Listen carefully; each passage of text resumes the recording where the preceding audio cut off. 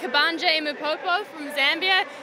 Congratulations, you, you made it through to the semi-final tonight. Talk, talk to me how it went for you out there tonight. Yeah, it was too hard, but at least I tried my best. What was the whole atmosphere for, for you like tonight? I said what? How was the atmosphere like for you? Oh, it was tough, but at least I'm getting there. Yeah.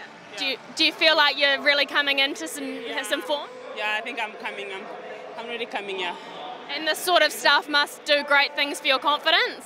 Yeah, yeah, I think that my confidence now is going high, and I'm hoping next time I have to be in the finals and do much better. Fantastic. Thank you very much. All right, thank you.